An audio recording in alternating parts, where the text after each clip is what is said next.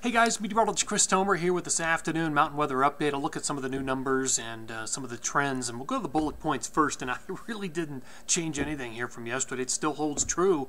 Northwest flow develops around 219, and that's what sets up some pretty deep bullseyes on the initial stages uh, for some heavy snow. Two lows then will ride the coattails of that, and on a very powerful northern jet branch, and the southern branch will also play a contributing role. So I'll show you all that coming up.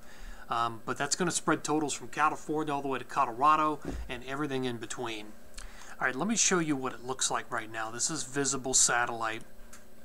So the key features, look at this low over Hawaii, another low somewhere right in here, and another big low behind us. So those, this guy and this guy will be the key players for the west down the road. And we've got a powerful northern branch, and southern branch all in on the action. So what will happen is after about two or three dry days, um, this pattern will start to bend a northwest flow with a powerful northern branch into the uh, Idaho, Montana, Wyoming, northern Utah, Colorado, central and northern mountains of Colorado zone. And that'll really be the introduction for all of this. All right, let me uh, show you. I actually wrote about it this morning on my blog, christomer.com. Snow and pattern through the end of February. I actually looked into March 1st as well and talked about a, a few deep bullseyes. So take a look at that. Uh, Purgatory looks looked awesome this morning after 37 inches in three days. It's over 10 inches uh, um, a day uh, for three days.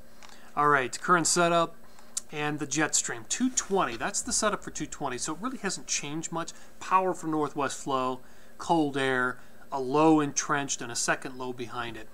Um, so here's the other one. This is 225, and I actually did an update on 225 with new data this afternoon. Here's what it looks like for 225. Still seeing a big low, a little further west over California. The bottom line is uh, the pattern's going to remain active into late February and early March. And let me show you what I'm, I'm seeing for early March.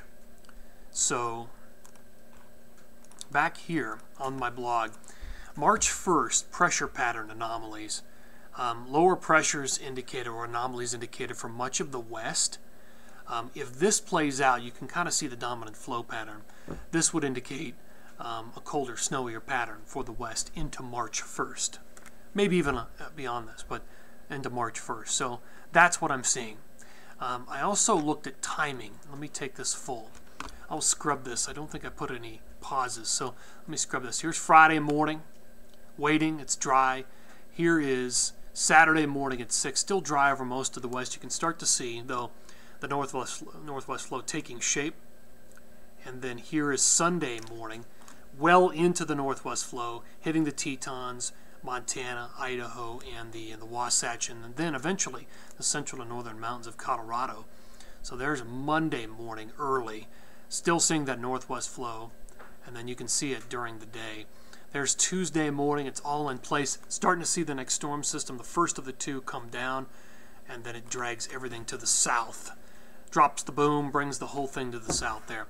220, 221, 222, 223 would be the key time frame for those two low pressures. So we're talking good cold air, northwest flow, good ratios, good jet support.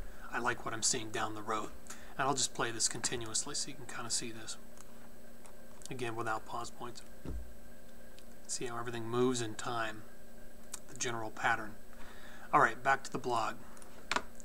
Um, I did some very specific forecasting here for Alta, Crested Butte, and Jackson Hole. Snow in time, key snow time frame.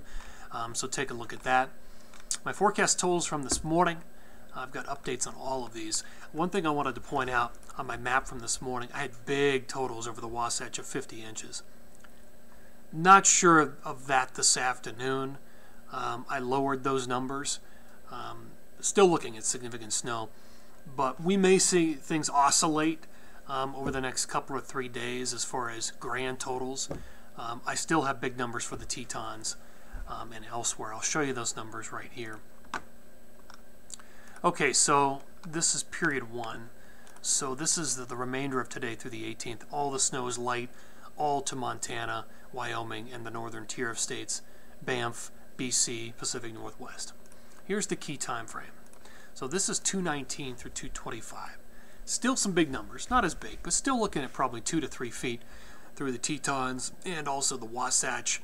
Two or three feet for parts of uh, Tahoe down to Mammoth, could even see more than that. Quite a bit of snow through uh, the Pacific Northwest, Washington and Oregon states there, and into northern uh, Idaho. Montana looks good. Colorado, the numbers, I dropped them down just a little bit, but still looking at 8 to 16 over the central to northern zones with a little bit more to the south. I think what ultimately this is really going to come down to, again, we're going to see the oscillation with these numbers, is the final storm track. Timing out those two storms, how much of a northwest flow, how pronounced is it? Um, so, you know, the range right now is very big, obviously. 30 to 50 inches for for the Wasatch, and I'll nail that down over the next few days. But 30 to 50, obviously, when you take my numbers from this morning and look at what I've got here. I'll show you the specialty maps. Um, so here is uh, here's the Wasatch, and this is a grand total map of about 30 to 36 inches somewhere in there. Again, we're going to see oscillation. Here's Colorado, the central and northern mountains. Um, about a foot, maybe more, um, between the entire period. So um, we'll watch as those numbers kind of move around a little bit. Here's the uh, the Northeast. Now these numbers are staying pretty strong. I've got quite a bit here, um, a couple of feet possible. There's a stronger storm system, potentially 22, 23, that may come through, and that's where a lot of the snow may come from. Um, so definitely keep an eye on these numbers, but they have stayed rather um, high over the last few updates. So there's probably something there. All right, guys, thanks for tuning in here. Always appreciate it. Um, and have a great day and enjoy what looks to be an active pattern later this month.